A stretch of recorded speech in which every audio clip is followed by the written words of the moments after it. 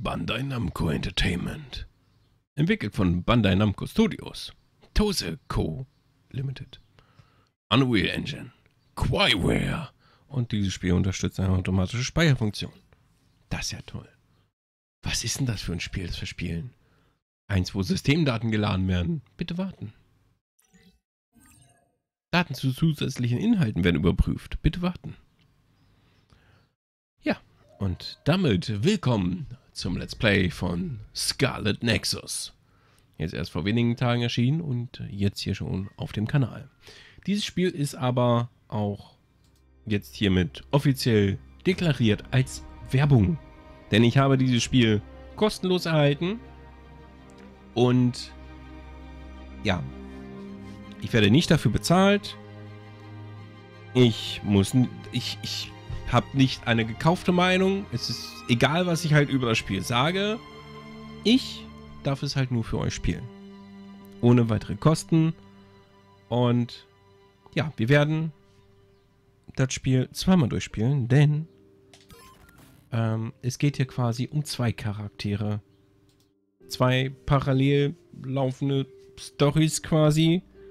Und beides gehen wir auf jeden Fall durch. So, das jetzt zum Thema Werbung. Also ist ein bezahltes Let's Play, wo ich nicht bezahlt werde. Also meine Bezahlung besteht darin, dass ich das Spiel erhalten habe. So, das muss ich jetzt hier einmal offiziell kundtun, damit das halt auch jeder halt vielleicht verstanden hat und so. Ja, so. Ähm, ganz kurz in den Optionen.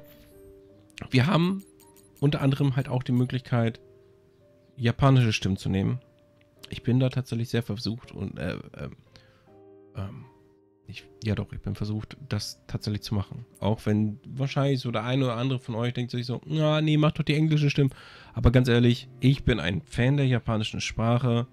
Und auch wenn halt manch anderer jetzt halt eventuell abschaltet und denkt so, na nee, Japanisch kann mir nicht anhören, boah, nee.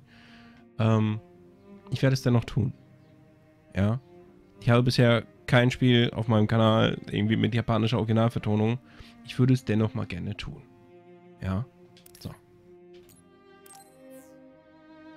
Einfach, weil ich das will. Ja. So, jetzt starten wir ein neues Spiel. Und da sind auch schon die zwei Charaktere, um die es quasi in diesem Spiel geht. Zwei komplett unterschiedlich aussehende Charaktere. Einmal hier eine junge Lady. Oder hier ihn hier, den taffen Typen bestimmt. Ähm, ja, wir fangen an mit dem taffen Typen, der da so auf der Ecke sitzt. Das kann auf Dauer nicht gesund sein. Ja, und die andere lassen wir einfach so lange stehen. Den Yuitu Sumeragi. Er stammt aus einer großen Familie, Nachkommen des Gründervaters, ein fröhlicher und optimistischer Junge mit standhaftem und freundlichem Herzen. Nachdem er als Kind von der AAS gerettet worden war, wollte er sich der AAS als Freiwilliger anschließen, um andere retten zu können. Er führt seinen Nahkampf mit einer Kombination aus schnellen Schwertangriffen und Psychokinese-Fähigkeiten. Gut. Wir können natürlich jetzt einmal noch mal kurz rüber gucken, was sie denn hier eventuell hätte. Die Kasane Randall oder Randall von der AAS angeworben, war sie eine Elite-Kadettin an der Akademie und stets die Beste ihrer Klasse. Sie ist kühl, rational und anderen gegenüber gleichgültig eingestellt. Und die einzige Person, der sie offen begegnet, ist ihre Adoptivschwester. Sie ist ihr gegenüber äußerst loyal und würde alles für ihre Schwester tun. Sie führt den Fernkampf mit einer Kombination aus Fernangriffen mit ihren Klingen und Psychokinese-Fähigkeiten. Aber Kassanes Geschichte schauen wir uns erst an, wenn wir seine durchhaben. So, Yuito, dann zeig mal, was du so drauf hast. Okay, ich stelle mal auf.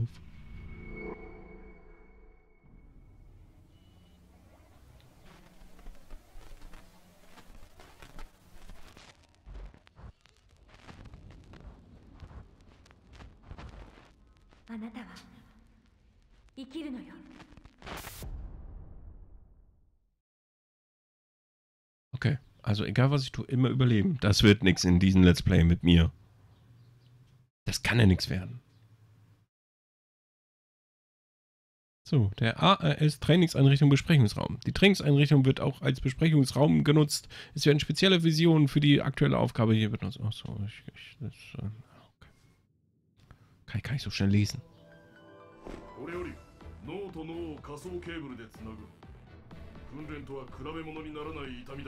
これより脳と脳を仮想ケーブルでつなぐ訓練とは比べ物にならない痛みだが耐えろシステムオールグリーンサスケーブル接続開始 Ein Gehirnverbindungskabel. Es sieht aus, als würde es wehtun.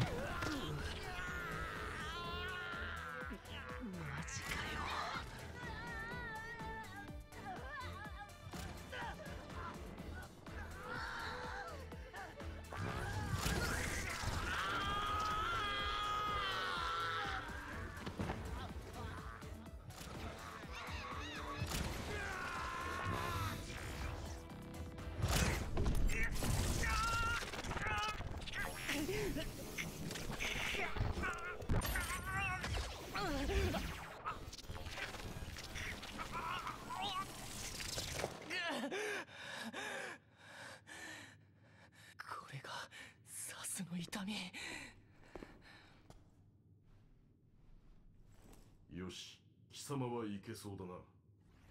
この適正試験で貴様の配属正体が決まる。しっかりやれ。了解。ユイとスメラギ本人と確認。これより怪異討伐軍幽体適正試験を開始する。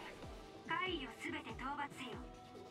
Okay. So, wir sind jetzt hier in einer Art Simulation, ja? Bewegen Kamerasteuerung. Bewegen Sie linke, äh, der linke Stick. Kamerasteuer mit rechts. Kamera zurücksetzen mit R3. Kameraeinstellungen können über Options unter Optionen in Einstellungen geändert werden. Okay. Aktuellen Typ schließen. Jo. So, unten haben wir unsere Lebensanzeige. Die wird bestimmt ziemlich schnell ähm, sinken.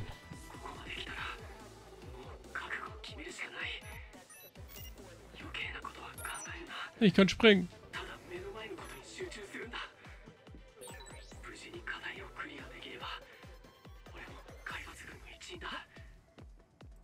So. Die AAS ist wohl eine Einheit, die sich halt um das Böse hier kümmert, ja? Was auch immer das für Böse sind. Guten Tag.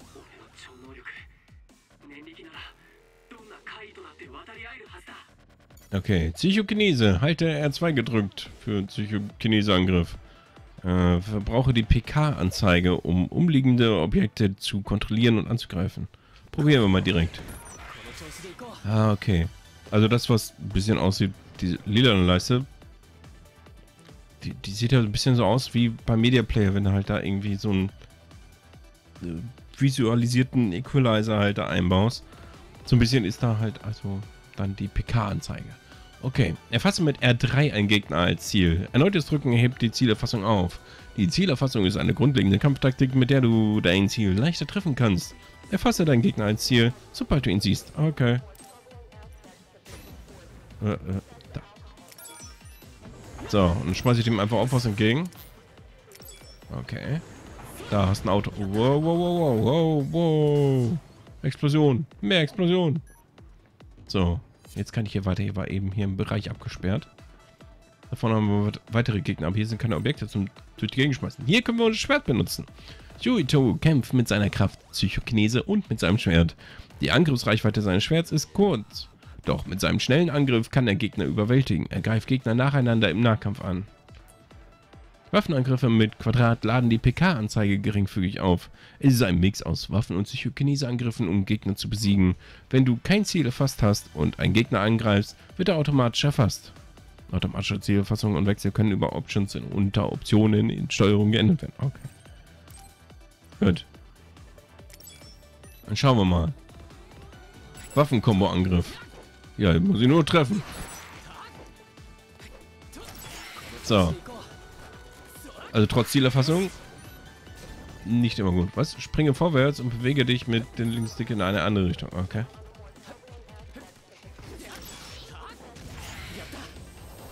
Okay. Welche gegnerischen Angriffe mit Zeug aus? Okay. Und da haben wir irgendwelche Fliegeviecher. Okay. Ziel wechseln. Ja, okay.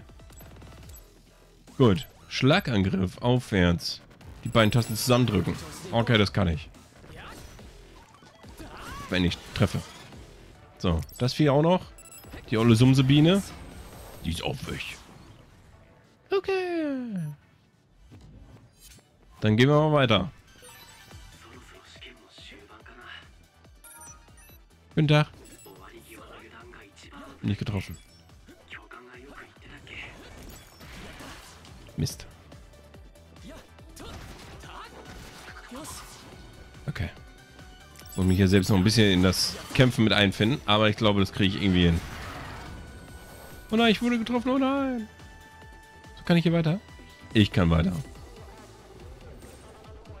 Yuitus Spezialangriff. Drücke Dreieck, während du dich bewegst, um einen Bewegungswirbelangriff auf einen großen Bereich auszuführen. Die PK-Anzeige wird zu einem großen Teil wiederhergestellt. So kannst du mit dieser Combo die Anzeige hochhalten. Der Angriff kann zwar nur einmal pro Combo ausgeführt werden, aber durch das Erlernen weiterer Fertigkeiten kannst du die Anzahl der Angriffe erhöhen. Okay. Naja, ne? Learning by doing und so. Kommen wir zusammen?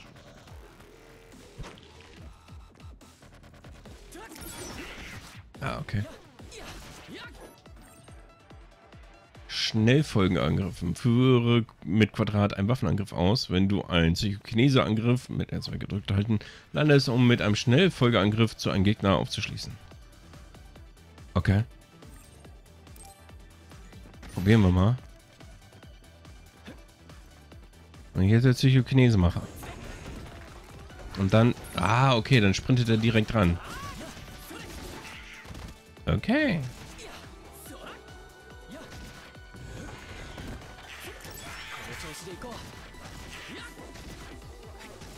Okilidokili. Das klappt doch eigentlich ganz gut. Psychokinese Folgeangriff. Wenn du mit einem Treffer äh, bei einem Treffer mit einem Quadrat- oder Dreieckangriff mit R2 einen Psychokinese-Angriff ausführst, erfolgt ein mächtiger Psychokinese-Folgeangriff. Dabei fällt deine äh, PK-Anzeige stark. Fülle sie wieder auf, indem du Angriffe ausführst. Okay. So.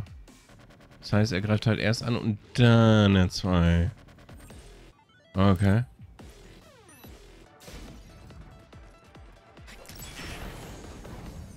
Da geht er halt auch ein bisschen weg und... Okay. Klappt natürlich nur, wenn Zeug in der Nähe ist. Ja, okay, die sind auch Stufe 3, deswegen sterben die auch nicht sofort. Klappt aber halt auch nur, solange halt irgendwie ein Gegner in der Nähe ist. Jo. Ansturm verbessern, Psychokinese Folgeangriffe. Das Erlernen des Schnellfolgeangriffs und Psychokinese Folgeangriffs ermöglichen es dir, diese Angriffe mehrfach hintereinander auszuführen. Wenn du direkt nacheinander einen Schnellfolgeangriff, einen Psychokinese Folgeangriff und danach wieder einen Schnellfolgeangriff ausführst, verursachst du schweren Schaden. Okay. Ach du Scheiße. Du hast einen Hyperstrahl.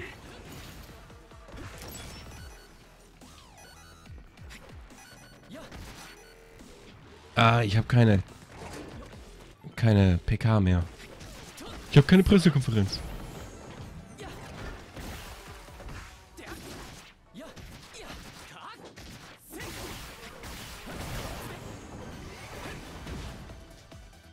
Na komm, direkt an. Oh, hat nicht so ganz hingehauen, wie ich das wollte. Ups.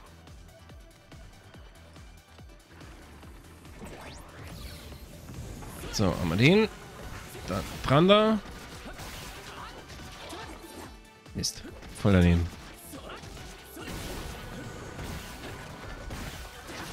Ja, so ist das schon besser. Okay. Das klappt eigentlich ganz gut. Du kannst dir jederzeit mit dem Hilfe... be- Ja, okay. Ich kann es mir jederzeit nachlesen. 任務達成これで入隊適正試験を終了する Okay, ich bin bereit für die offene Welt oder so. Vielleicht.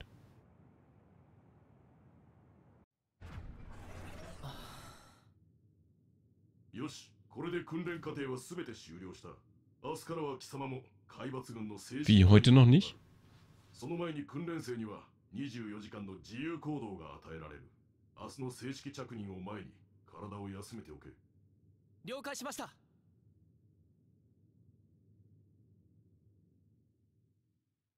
Okay. Da bin ich mal gespannt, was unsere tagtäglichen, Tä- tagtäglichen Taten dann so sein werden.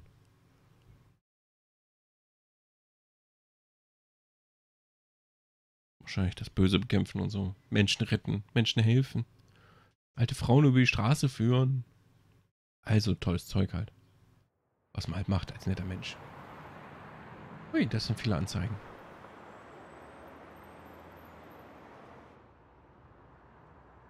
Ryujin-Bezirk, Suo. Ah ja.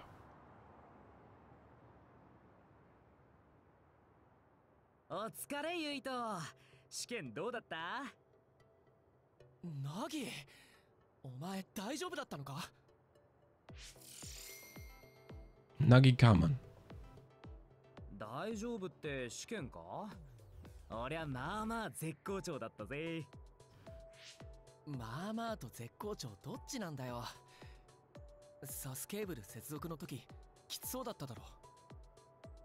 あああれめちゃくちゃ痛かったよな。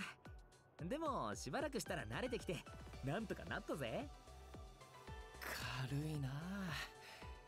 でもナギらしいか。これで俺たちも明日から憧れの海抜軍か。なんだか信じられないよ。うん。そうだよな。なんだよゆいと反応薄くね？いや俺だって嬉しいよ。言っただろ？子供の頃海抜軍の人に命を助けられたって。だから俺もその人みたいになりたいって思ったんだし。でも。でも？なんだよ。最近思うことがあるんだ。本当にそれだけでいいのかなって。せっかく助けてもらった命なんだから役に立ちたいしもっと大勢の人を救う方法があるんじゃないかってさ。おいおい人間一人にできることなんて限界があるんじゃないか俺たちは海抜軍になって怪異と戦う。まずはそこを一生懸命にやらなきゃ。だろ？そうだよな。俺なんとなく不安になってたのかも。まずは一人前の海抜軍にならなきゃだよな。ナギありがとう。大いにありがたく思ってくれたまえゆいとくんところでこの後スメラギ寮に報告に行くんだろご先祖様にいちいち報告するなんてめんどくせえよな。まあそれだけじゃないんだけどな。今スメラギ寮がバッキーちゃんとコラボやってるんだ。は？スメラギ寮ってユイトの家のお墓だろ？いくら観光名所になってるからってコラボとかすんの？結構やってるらしいよ。そういうのは親父たちが決めてることだけど。あそうだ。親父と兄貴にメッセージを送らないと。どうせまた親父さんからは返事来ないんだろいくら海抜軍にしたくなかったからって。冷てえよな。評議会とかに出てる時は笑顔振りまいてんのに。裏表ありすぎっつうかさ。そりゃ裏表あるのは政治家だから。それに俺も定型文みたいなメッセージしか送ってないし。あもう兄貴から返信来た。なんだって？お疲れ様。頑張ったな。だって。スメラギ本部長直々にお褒めの言葉かよ。昇進間違いなし。だな。お前バカにしてるだろ。兄貴が海抜軍の本部長だからって便宜図ってくれるわけじゃないからな。分かってるって。悪かったよ。本当かよ。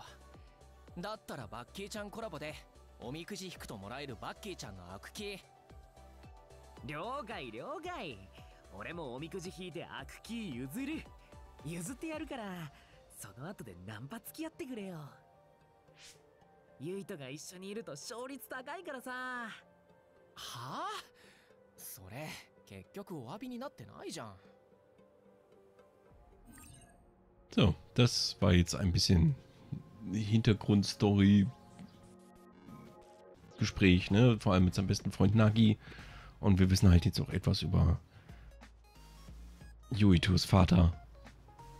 Und generell so ein bisschen, ne? Zusammenhang. Wieso, weshalb, warum ist er überhaupt den Ars beigetragen, beige, bei, beigetreten?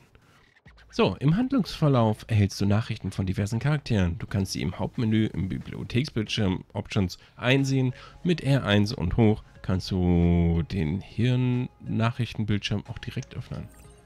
Okay. R1 und hoch. Oh. Okay. Minikarte, Gebietskarte. Da ist die oben rechts. Die Minikarte wird rechts oben auf dem Bildschirm angezeigt. Darauf kannst du dir, dir, dir deine Umgebung und die Richtung des Ziels anschauen. Du kannst sie in den Options, die du mit in, du kannst sie in den Optionen, die du mit Options öffnest, im Hauptmenü ein- oder ausschalten. Okay. Warte, da ist noch eine zweite Seite. Ähm, das Touchpad öffnet die Umgebungskarte. Dort siehst du mehr Details deiner aktuellen Position als auf der Karte, äh, auf der Minikarte. Das nächste Ziel wird oben auf der Umgebungskarte angezeigt. Wenn du einmal nicht weißt, wo du bist, Schau auf der Umgebungskarte nach. Okay. So, das heißt, Hirnnachrichten. Da, es ist endlich vorbei. Ähm, wir werden endlich offizielle Mitglieder der AS. Es fühlt sich noch immer so unwirklich an. Gerade als ich dachte, das harte Training wäre vorbei, kommt dieser letzte Test. Ich war schon so oft davor aufzugeben, aber ich konnte mich durchschlagen, weil ich mit dir zusammen war, Yuito. Wir, haben, wir sind Freiwillige. Also werden wir es wohl wirklich nicht leicht haben. Aber ich freue mich darauf, gemeinsam mit euch als Mitglieder der 567, 567. Ars-Klasse zu dienen. Okay, und das ist ein Bericht. Das ist das, was wir vorhin gekriegt haben von äh, seinem Bruder, den Kaito. Die finale Prüfung ist vorbei. Morgen werde ich offizielles Mitglied der Ars sein. Ich werde mein Bestes geben. Gute Arbeit, du hast es durchgezogen. Jo. Okay. Das sind die Optionen, Bibliothek, Geschichte. Das ist so quasi hier. Prolog können wir da nochmal anschauen, wenn wir irgendwie eine Cutscene verpasst haben sollten. Ähm, dann haben wir hier Charaktere. Ne? Ihn hier mit Körpergröße und Geburtstag und und und. Ähm, der Nagi. Der hat auch eine ID, interessant, ist auch männlich. 5. Juni hat er Geburtstag, ist ein bisschen kleiner, hat Aerokinese. Okay, das andere ist Psychokinese, ja. Psychokinese ist ja vom Geist heraus. Aerokinese ist mit der Luft. Waffe Chakram, okay. So, Gegner. Haben wir schon so ein paar gefunden. Züchtungsbereiche. Okay. Kommen da noch Schwächen dazu oder wofür ist das obere Ding? Ich habe keine Ahnung. Und hier ist halt die äh, ganze Hilfe drin. Wenn ich Hilfe brauche. Okay. お前って本当バッキーちゃん好きだよななんか癒されるんだよ子供の頃大切にしてたぬいぐるみみたいな感じでさ子供の頃バッキーちゃんってそんな昔からあったっけうーんそれくらい俺の遺伝子レベルに訴えかける可愛さってこと Okay. Und diese schöne Stadt können wir dann jetzt hier mehr oder weniger erkunden, ne? Das Ganze hier hat auch irgendwie so eine Art Cell-Shading-Look. Gefällt mir irgendwie. Ähm, und ja, ich hätte dieses Spiel trotzdem gespielt. Auch wenn ich das Spiel nicht umsonst gekriegt hätte, hätte ich dieses Spiel trotzdem gespielt. Halt nur dann nicht jetzt. Sondern wahrscheinlich dann, wenn es in Vergessenheit geraten wäre. So. Da vorne müssen wir hin. Da ist auch irgendwie ein, Diskettenladen oder eine Speicherfunktion. Ich habe keine Ahnung ähm, Speicherpunkt. Es wurde eigentlich gesagt, ne, Spiel speichert automatisch. Aber gut. Ich würde sagen, wie das von hier aus weitergeht, unser schönes Abenteuer durch Scarlet Nexus, erfahren wir dann in der nächsten Folge. Bis dahin, viel Spaß noch. Vielen Dank fürs Zuschauen und bis dann.